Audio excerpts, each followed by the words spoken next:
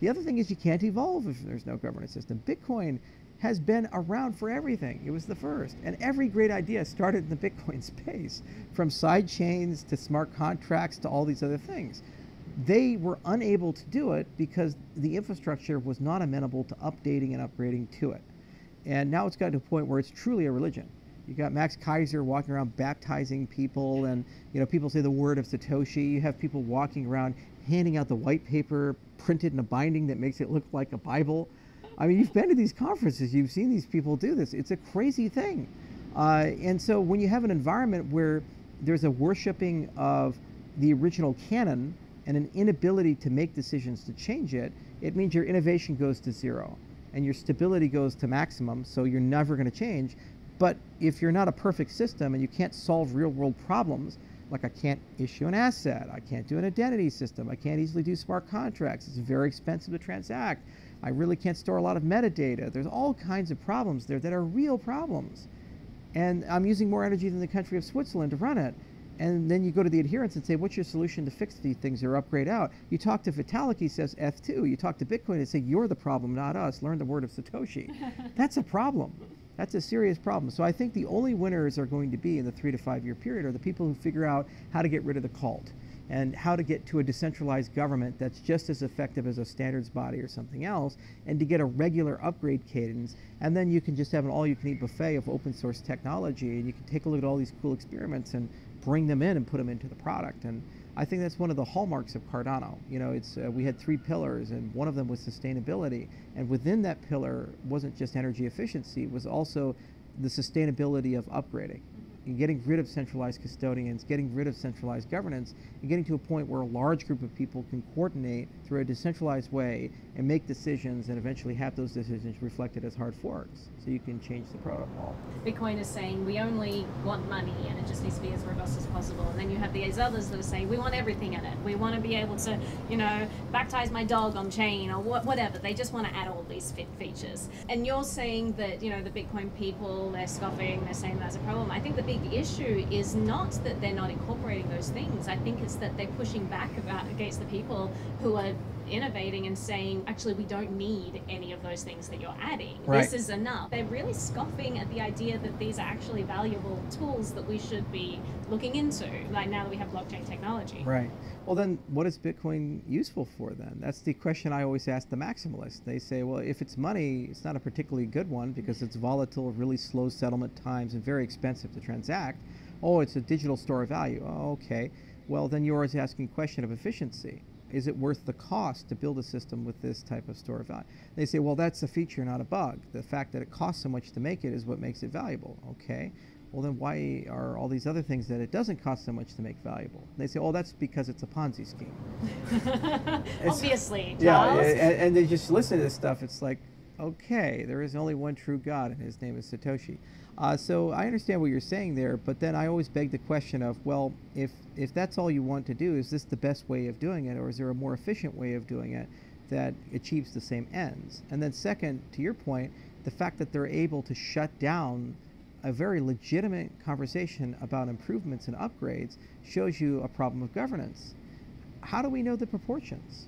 Maybe only 10% are the don't upgrade anything Church of Satoshi, and 90% are we want smart contracts yesterday how do we know? There's no governance system. There's no on-chain voting system. There's no way to poll the public and express vote. And what does it mean to own and hold a Bitcoin? Do you have any rights for that? You know, you can build in a decentralized organization rights embedded within the token itself. But for some bizarre and alien reason, we've never gotten there with Bitcoin. So there are no rights for it. You hold it, it has value, but it gives you nothing. Meanwhile, all these third generation protocols, they're saying if you hold it, you can delegate, you can vote, and it, some are even writing constitutions and embedding them and so forth.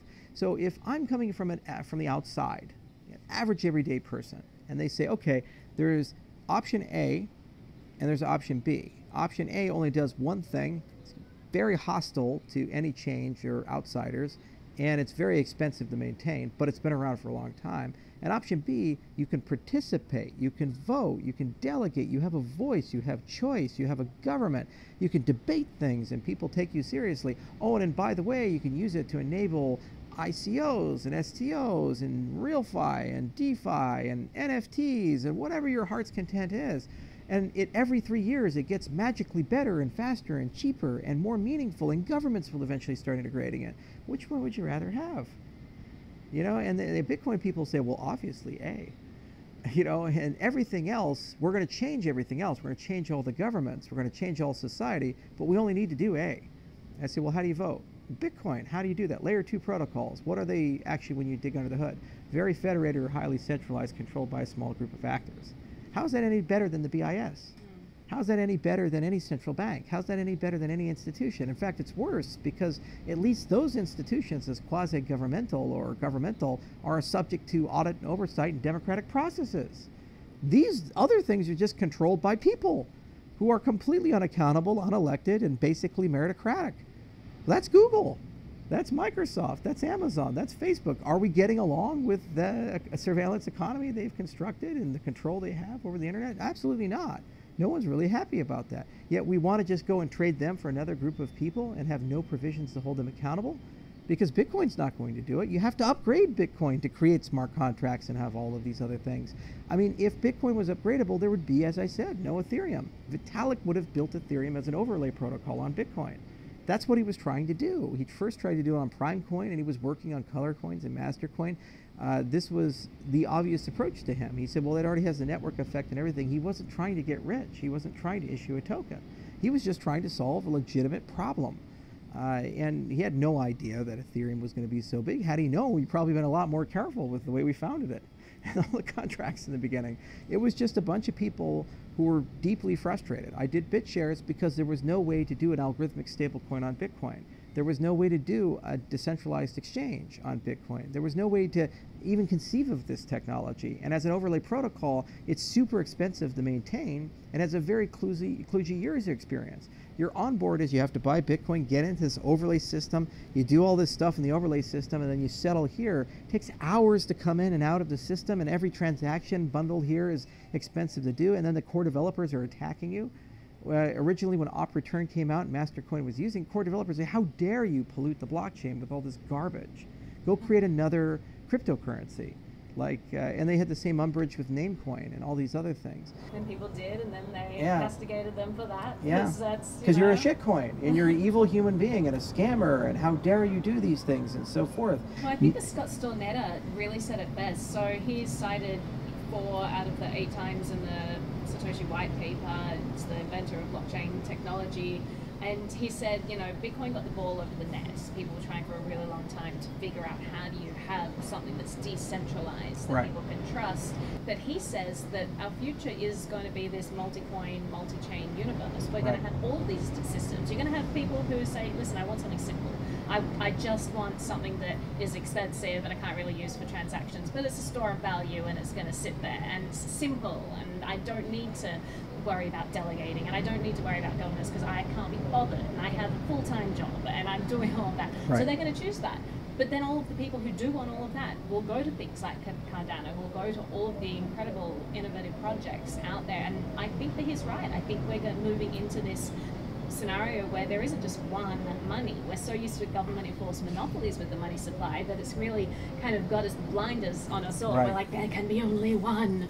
And it, I just don't see why there can be only one without a government enforced monopoly. It's not like we have barriers, like physical barriers Right. to holding multiple coins in our pocket anymore. Like we have phones that can hold as Right. much as we want. Like I do not see any barrier to having interchangeable monies that all coexist and interoperate, and we can choose whichever is best for whichever purpose at the time. We're already seeing that. We're seeing Right. cultures evolve around, you know, Cardano, very much focused on developed nations, which is really exciting. Uh, you have other projects that have different niche niche communities. They're all starting to evolve, and they're catering to different people's needs, which is so exciting because we've had this blanket Right. that's like one size fits all, and you must enjoy it. And we don't need that anymore. Like uh, that's that's the exciting part about all of this. We have the choice. it, what's really amazing about all of it is no one seems to use common sense when they think about this. I, you know, mathematics, the first thing they teach you is the argue by analogy. So you have these super hard problems in mathematics, and you can't solve them. So what you do is you say, well, what's a simpler problem that's somewhat similar to it? And if I solve that, it teaches me something about the harder problem I want to solve. And every now and then you get lucky, it actually shows you a path to solve the harder problem. So you say, okay, is there going to be one cryptocurrency? You say, okay, is there one thing of anything in the history of humanity? is there one language? Is there one religion? Is there one sexual orientation? Is there one what? No. W- human beings are creatures of spice and diversity, of life and vibrance. We always love the fact that we have lots of options. If you go into uh, a grocery store and you only see one breakfast cereal, you say, I need to leave this Soviet country and go to somewhere that's sensible, you know, because you'd say, I want to see Fruit Loops, I want to see Cheerios, I want to see actual competition, because maybe I wake up and I want sugar, and maybe I wake up and I want fruit the next day. Well, similarly, when you think about cryptocurrencies, because these technologies cover things that are much more serious than the movement of data packets, they're talking about the way we express ourselves, the way we associate, the way we conduct commerce. This is as deeply personal as a religion is, or as clothing is, or as languages are. There is no way you can create ubiquitous consensus on one collection of trade offs. Every protocol has its own set of trade offs. You give something, you gain something. For one group of people, they're okay with that. For another group of people, they're not. Uh, so, what you have to accept is an internet of blockchains. And what you have to do is take a step back and start with the end in mind, the consumer, and say, what are the experiences five years from now, 10 years from now, 15 years from now we want to see? So, for example, the concept of a universal wallet. I want in 2030, I go to Starbucks or McDonald's or someplace, and I have my phone. They say that'll be $11. I tap it, I pay, and I pay in whatever asset I want. And somehow they get paid in whatever asset they want. So I had tokenized silver on my phone. I had airline miles on my phone. I had data capacity from an ISP on my phone. like, I had, you know, fractionalized ownership of my home. That's a non-fungible item, right? Right. Okay, I had all kinds of shit. And there's some market somewhere that's being enabled by this amazing crypto utopia that somehow transformed whatever the hell that was into euros or pesos or dollars. Or maybe if I'm doing treasury management for a company and they say something like, hey, let's take a position in Microsoft stock. Their customers are actually doing that. So when you go to Starbucks and they're buying things for all the Starbucks in Detroit, when they're accepting payment, they're actually buying shares for two hours in Microsoft. This is the world we can enable, you know, very quickly, completely on a cell phone, completely seamless. I pay them what I want, they get paid what they want. It's their business, it's my business. No one cares. There's decentralization in between. That's an end that is magical and wonderful because we're no longer then at the mercy of a Fortune 500 bank or a government or capital control or inflation or other things. I can build my wealth any way I want. If I'm concerned that the dollar's falling out, I can have tokenized timber inside my portfolio. I can do all kinds of crazy shit. And it's just there, and the cost of doing it is nothing. And it's available equally to Bill Gates as it is the coffee farmer in Ethiopia. Both of them have the same system. The same thing can be for uh, your cell phone usage. You know, I have a phone and I can have a little dial on my phone, and on one side of it, I could say, I only ever want to spend $5 a month for phone access. On the other side of it, you can turn it all the way up and say, I don't care what I spend, but I want to have 5G speeds, maximum speeds, always connected, roaming between the networks for whichever one gives me the best signal, because I'm a super business guy and I need to never drop a call. Okay, well, why do we have that experience? Well, because of telco monopolies and silos and things. It turns out the very same thing. The same set of technology that allows you to have that first thing, the universal wallet, allows you to have that dial on your phone, also allows you to do the elections of nation states. So you know, I'm a politician and I'm doing something very controversial. I say, what do the people think? You push a button, it suddenly as an NFT, a vote token shows up on your phone. And there's a question Do you think we should do this? Yes, no. Yes goes to one address, no goes to the other address. You've just pulled the entire nation state instantly with an 80 90% voting rate for free. The same technology that enables that enables the dial, a dial enables the universal wallet. You just keep walking one after another, after another, after another. And by the way, they're all open. They're open source, patent free, equal participation, and the economics are built in a way where the cost falls, the quality improves, and the speed, efficiency, throughput, all these things get better. And uh, they get more universal. So that means the least amongst us have access to the same systems as the best amongst us, as the richest amongst us, the most uh, privileged amongst us in society. Uh, we've never had a time in human history where that's been the case. It's always been proximity to wealth and power decided your status and wake in life. The further away you were from it, the li- more likely you were working as a slave in an iron mine. Okay, now we live in a situation where you live anywhere in the world, no matter where you're born with the geographic lottery, you will have access to the same system as a king does. That's magical. That's the world I want. I don't give a shit about whether it's Bitcoin or Ethereum or Cardano. I just know what classes of technology needs to be and what the philosophy needs to be. And I also understand you have to also build a government in parallel with this because if it's a system for the people, by the people, the system needs to be run by the people.